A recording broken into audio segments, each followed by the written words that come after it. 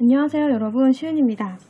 네 오늘 여러분들에게 보여드릴 거는요 요 라미 사파리 만년필인데요. 요 라미 만년필을 보시면 이렇게 펜촉 부분이 있어요 여러분. 그쵸?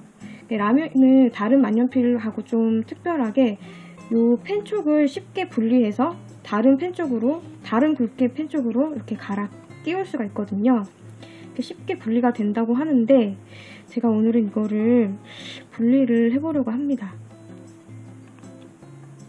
음, 이게 지금 새 제품이거든요, 여러분.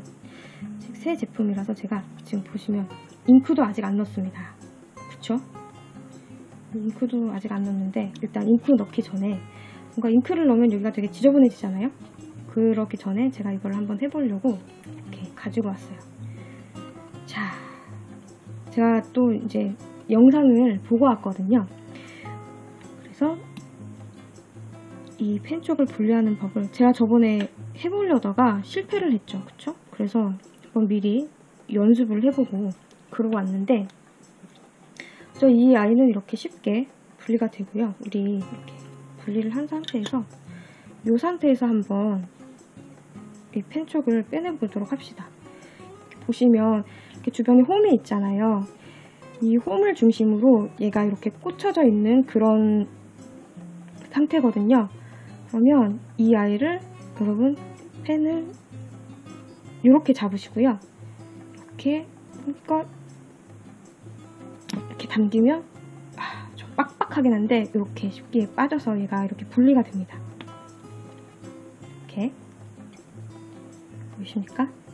그래서 이렇게 해서 요 펜촉과 이, 요 사이에도 잉크가 많이 끼는 거 알고 계시죠? 이렇게 청소를 이렇게 깨끗하게 할 수가 있죠. 그리고 나서 이제 내가 원하는 촉의 사이즈의 펜촉을 이렇게 끼우시면 되는데요. 이게 지금 저는 여러분 이거를 몇 번 해봤어요. 여러분들한테 이제 여러분들께 보여드리기 위해서 몇 번 연습을 해봐서 이렇게 잘 빠지거든요. 근데 이게 처음에는 제가 빼려고 이거를 했는데 너무 빡빡해서 빠지지가 않더라고요. 그 맨 처음에 이게 완전히 이게 딱 밀착이 되어 있어서 고착화되었을 때는 손으로 아무리 힘을 줘도 잘 빠지지가 않는데 이거를 이제 처음으로 뺄 때 빼는 방법을 제가 알려드릴게요. 이것도 제가 네, 영상에서 보고 연습을 해봤어요. 여러분 집에 이렇게 스카치 테이프 있으시잖아요. 이 아이를 네, 스카치 테이프가 필요해요. 이 아이를 이렇게 네, 잘라주고요. 그리고 나서 얘를 이렇게 펜 끝까지 이렇게 좀 이렇게 딱 이렇게 붙여서 붙여주세요. 그리고서 얘를 이렇게 돌려서 완전히 딱 잡진 마시고요. 네, 예, 한 요 정도만 이렇게 힘을 받을 수 있게끔 이렇게 잡아주신 다음에 얘를 이렇게 한껏 딱 하면 얘가 이렇게 떨어져서 나옵니다. 네, 저도 맨 처음에 뺄 때는 이 방법으로 뺐거든요. 그래서 조금만 힘을 주시면 얘가 잘 빠져나와요. 그리고 나서 이 아이를 이렇게 가위 같은 걸로 이렇게 잘라주시고 그래서 빼면 이렇게 펜을 이렇게 분리 펜촉을 이렇게 분리할 수가 있는 거죠. 생각보다 겉에 이제 테이프에 약간 끈적끈적한 부분 그런 것도 이제 많이 묻지 않고요.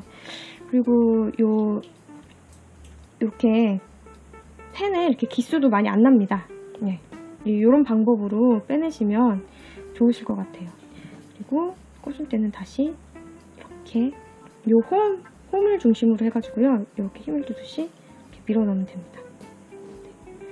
네, 저도 처음에 연습한다고 몇 번 해봤고요. 이제는 이게 좀 이제 많이 고착화가 이제 풀려서 이렇게 잘 빠지는데요. 처음에 이제 만년필을 이렇게 펜촉을 분리하고 싶으신 분들은 이런 식으로 분리를 하시면 좋을 것 같아요.